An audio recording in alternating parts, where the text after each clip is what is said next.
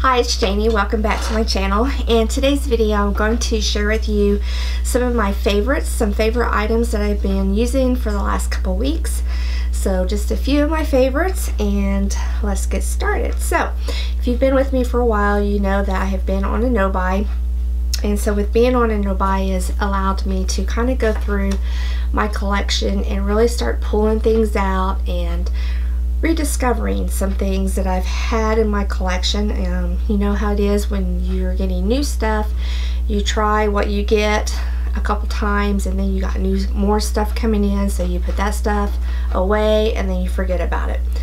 So anyway, so let's get started. First of all, I want to talk about a product that I've had for a while and used them a few times and then like I said once new stuff came in kind of put these on the back burner and that's what I have in this palette here which is my um, Makeup Geek eyeshadows.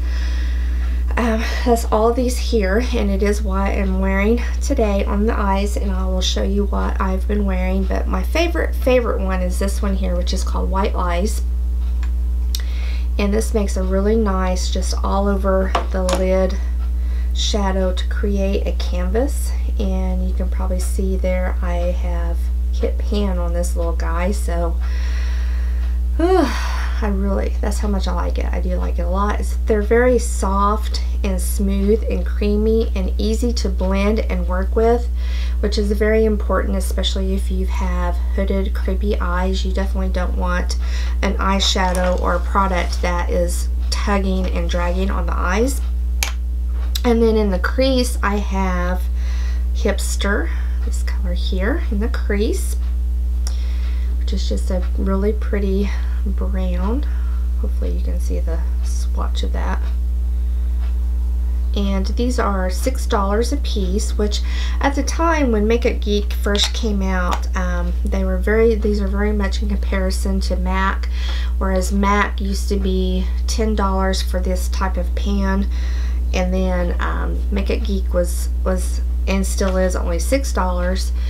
So you could buy five Makeup Geek shadows for um, five Makeup Geek shadows versus three MAC eyeshadows. But now MAC has kind of reduced their prices to match Makeup Geek. I really think they did that too because I think they were really probably losing a lot of sales due to Makeup Geek, so they've lowered theirs to $6 now. So, um, but it's still a, a good price. Um, definitely worth the money. This is in Mocha, and this I have in the outer corner. So, very good. I, I have not tried any of her new formulations. I have tried the blushes and I don't care for the blushes at all but the eyeshadows I really do like the eyeshadows. And then in the inner corner I have um, Shimma Shimma which is this color here. So uh, like I said they just blend very easily. Um, they're long lasting they're cruelty free they're paraben free I just don't think you can go wrong. They have over a hundred um, shades to choose from and there's um, matte, there's shimmer, um, I don't think there's a demi, demi matte, but anyway, I know there's matte shimmers and of course you know she has her her pressed pigments now and everything but I haven't um, used those. I'm just talking about the original Makeup Geek eyeshadows that were came out with at the very beginning. That's what I have. That's what I've been using for the last couple weeks is this little um, guy here and have quite enjoyed those. And the brush that I like putting them on with and actually I've been using this brush a lot um, pretty much every single day. It's the MAC 217 and I use this for my crease work and for the outer corner here and in the crease and then to kind of blend them together. And then in the inside here right here I use this MAC. Oh I can't I cannot my numbers are worn off but it's just a little flat um, eyeshadow brush. I just put that Shimma Shimma right here with this brush here and then um, the um, White Lies, I use this big, bigger um, brush from Crown Brush. I got this off a of HauteLook. It's one. It's off the um, the Badger line. so I have that. Anyway, so my next favorite that I want to talk about is from IT Cosmetics. I have a lot of favorites from IT Cosmetics. I really do like that brand. I think it they really work very well with people of my age, with my type of skin, you know, that's getting a little aging, a little bit dry. Anyway, I want to talk about an eyeliner pencil, and this is the No Tug Waterproof Gel Eyeliner. And I have mine in the color um, black brown. It also, on the end, it has its own little um, sharpener so that you can sharpen the tip to make it pointed again it lasts all day. It is exactly what it says it does. It doesn't tug or pull on the delicate eye area. It also has some skincare benefits in it. It has uh, peptides, it has collagen, it has silk, has vitamins um, A and E, so you're getting good skincare benefits while you're wearing it. Plus, it lasts all day. You do have to sharpen it with a sharpener. Um, not this sharpener because this sharpener is just for the the tip there to get the tip. No wait, I'm wrong. It it it rolls up. Why was I thinking you had to sharpen it with the pencil? No, you don't. You don't have to sharpen it with the pencil. Y'all are going to think that I never use it, but I really do. I do use it. I have it on. Um, it does last. Here in the waterline is how I like to wear it. It's up in the waterline. I very rarely put any eyeliner on my actual lid anymore just because I don't have a whole lot of lid space and I don't want to take it up with uh, eyeliner on there so I've been just tight lining and I really do like that for tight lining. It works very well.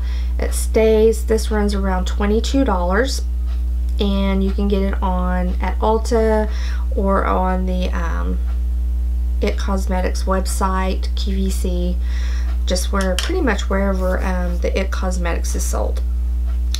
The next item that I want to talk about is an item that I purchased off of Beautylish and it's a Chikuhodo brush which I don't know if you're going to be able to see because it has a white handle but it's the GSN series and it's the GSN 10 and it is a crease brush and it's a natural hair it's goat hair. And when you first get it it's going to be kind of a little bit more together I guess but as you wash it it gets fluffier.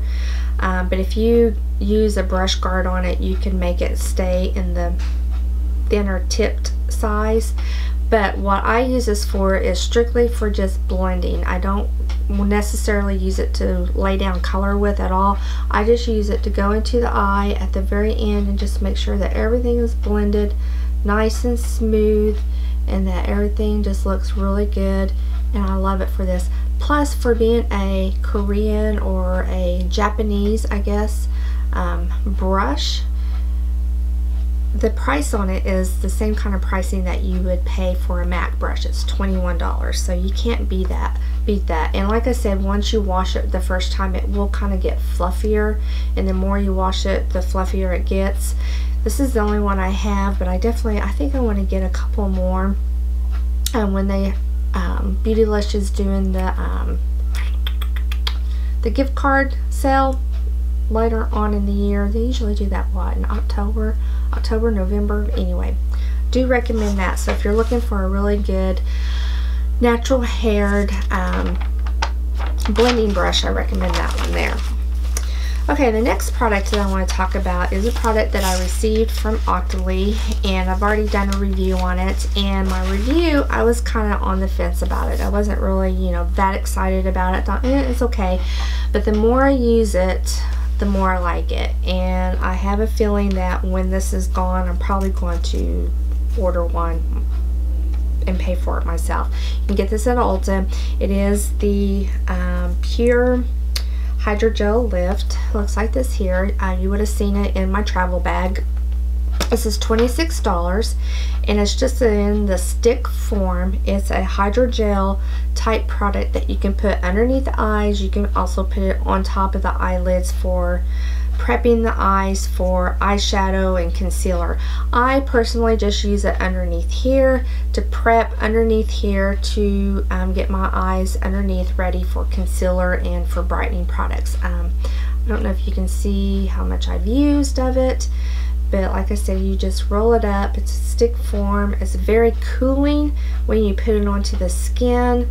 It doesn't tug or drag. It just goes on really nicely. Um, it smooths the skin and kind of plumps it up a little bit and just acts as a moisturizer and as a, um, a primer.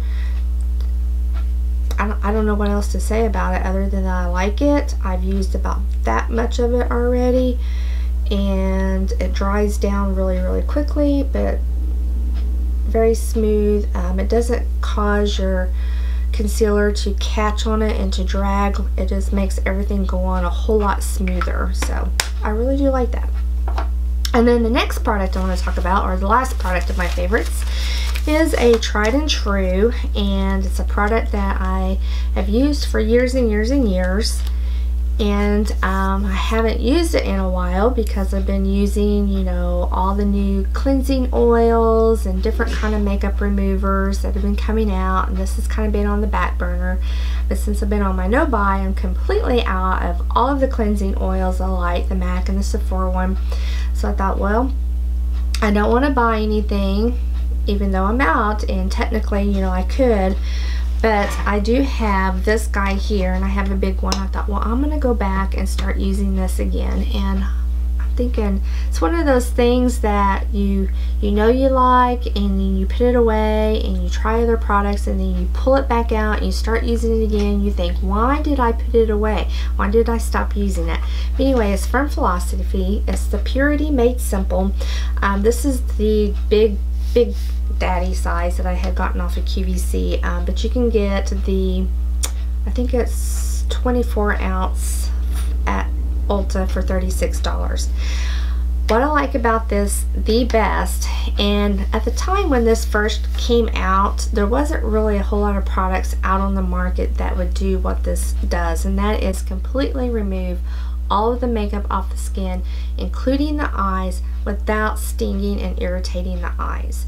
Now I understand now that there's products out on the market now that do that, that may even work better than the Purity, but at the time when it was first launched, this this was it. This was the big boss. This is what you got if you wanted something that was going to do it all. And I really do enjoy using it. Um, when I started this, it was completely full. I'm down to here now. So I have I have no negatives to say about it at all. Um, I like it. It works. It takes everything off. It doesn't irritate my eyes. It doesn't get in my eyes. Or if it does, I don't know that it's in my eyes because it doesn't sting and irritate. Where some products, you know, even though they're designed to take off your makeup, they're not designed to take off eye makeup.